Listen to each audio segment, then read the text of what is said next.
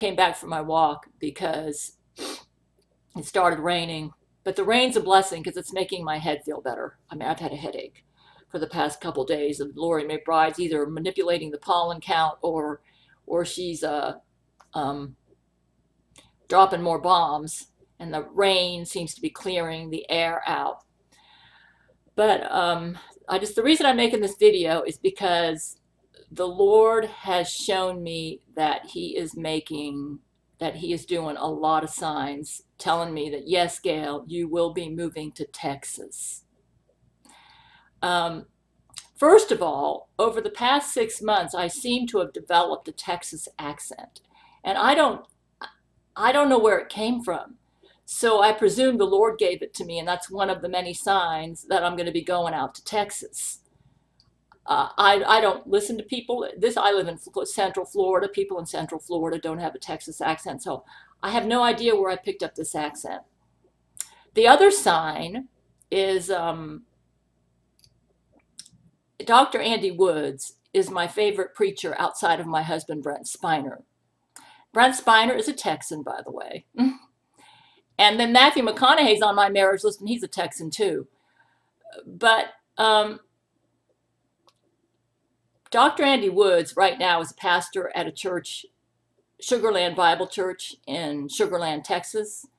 And I, I like to listen to him because he's a very good Bible teacher and he helps me with my research for my novel, Silver Skies. And lo and behold, this past weekend, he made a special trip to Florida, where I currently live. in Tampa. And usually when he makes trips, he'll post at his Twitter, you know, the messages that he's speaking at where he's a guest speaker somewhere else. So I like to keep up with him because he's a really good Bible teacher. So I listened to the message and um, he was preaching a message about how God was protecting Israel during the tribulation. And um, so the, the whole message was about protection. And in the middle of the message, he said, In my devotions, I happen with my daughter, I happened to be in Genesis about the story of Joseph, where uh, uh, jo- where God told Jacob to go to Egypt to be reconciled with his son Joseph. And Jacob thought Joseph was dead all these years because his brothers, you know, played a dirty trick on their. They were jealous of Joseph, and actually, I have problems with jealousy myself with my horrible sister and it was time for a reconciliation after many years. And um, the Lord was saying, This story applies to you, Gail. The Lord seems to be telling me that He wants me to retire in Texas and that it's going to be in Texas where Brent and I are going to be able to live as a married couple. Now, I don't know if the marriage to Brent's going to happen right away when I move to Texas, but apparently the next step in God's plan for my life is to move to Texas. And um, so I just thought, wow, look, look at this. This preacher all of a sudden goes to Florida. He's in the same place in his devotions that I'm at, and the message was all about protection. That's another sign. And and the preacher's the preacher's church is in Texas, so that's another sign. So you might say, oh, that's just a coincidence, or maybe he knows you or something. No, no, I haven't been communicating with him. The Lord did it. Now he used him to give me a sign. And it's pretty interesting that we're both at the same spot in our devotions. I'm also reading out a Bible for Tribulation Saints to get guidance, and so I consider that part of the canon. So I read from the traditional Bible, and then I read from Bible for Tribulation Saints, and then I combine what I get from both of those to help me to make the right decisions. And everything that I'm reading in my devotions is telling me that God's getting ready to move me. And He wants me to have faith and that he's going to make it so that I can continue to do the Gail commandments through the move. So this month, because Sally Beauty Supply, did I mention? Yeah, Sally Beauty Supply. I ordered some shampoo and cream rinse. And it was already on sale. It was buy one, get one 75% off. And I ordered four bottles for about, they're about seven bucks per bottle or about 650 per bottle. And I ordered four bottles uh, buy one, get one 70% off. So that'd be a total of eight bottles. So the order was actually worth about $45. But I got it on sale for $30. But still, you know, I'm really tight this month because I've lost some of my major financial support. So I thought, well, I'll barely make my $100 savings this month. Well, lo and behold, I went and checked how much money I have in my PayPal account. And was $20 over what it should have been. So I said, something's not right here. And I found out that that Sally Beauty uh, sale where I got about $45 worth of shampoo and cream rinse for hot for about 30 ended up being about $11. So I saved for some reason my Sally Beauty order came out even cheaper than the sale price. So I bought about $45 of high quality, it's kind of like the equivalent of um, BioLage Matrix because I I've got this menopause hair, so I use uh, I get the Sally Beauty brand equivalent of BioLage Matrix for color treated hair to do my to shampoo and cream rinse my hair because I shampoo and cream rinse every day because I go out for a walk and get all sweaty and get all this pollen in my hair. So I shampoo and cream rinse every day. So I needed a high quality um, shampoo and cream rinse so my hair doesn't look like a frizz bomb, you know. And I, wow, I couldn't believe it. You might say, well, what's the big deal? Well, the big deal is that Sally Beauty is based in Denton, Texas. That's a suburb, but kind of north of Fort Worth. It's another sign, another sign that God used a Texas-based company to save me. I wasn't expecting that. I don't know if my men contacted Sally Beauty or if the Lord did something. That's another sign. Let me tell you another sign. Um, back in the 1990s. Um, so here I am. I've got a Texas accent that I can't get rid of. Um, Dr. Andy Woods ends up in the same place in his devotions that I'm at. And it was this story of Joseph that spoke to me, that the Lord used to tell me that I was going to move. He said, just like Jacob needed to move to Egypt to protect his family, I need to move you to Texas, Gail, to protect you. Uh, he was telling me Florida is no longer a safe place for you. He says, I want you to move to Texas. And, and he said, I'm going to cover all the expenses. Uh, that means I'll be getting a, probably a new car within the next couple months. And the Lord did tell me that he was going to get me a new car. In fact, in 2017, I ended up spending money on auto repair, and Jesus said, Boy, you just ran over the Gail commandments when you spent about $900 to get new tires and a new starter.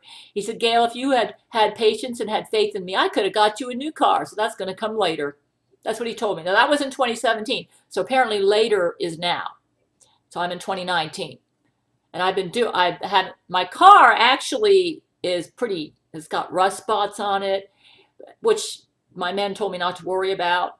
And right now, the whole instrument panel is out. I can't see what speed I'm going. I can't see how much gas is in the tank. But I remember Jesus said, don't spend. And when I do my automatic transmission, I had to put a, a, a postcard up there that said P, R, N, D, you know, one, two. So I know exactly where I'm going because I can't see the panel. The We have like an electrical short circuit there.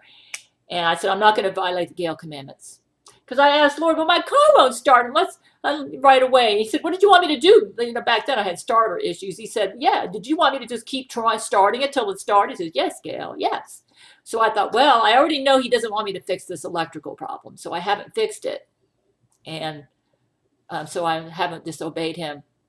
So I, I, I told my man, it appears you're going to be moving me to Texas. And as you know, I got a 1999 car falling apart and it's not not safe for a long distance trek. So if you if if, if I'm right that God wants me to move to Texas, you're going to have to get me a new car.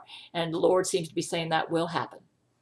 So the first so anyways, um, I got this Texas accent. Sally Beauty from Denton, Texas gave me a super big discount on shampoo and cream rinse that helped me to do the Gail Commandment for saving $100 this month.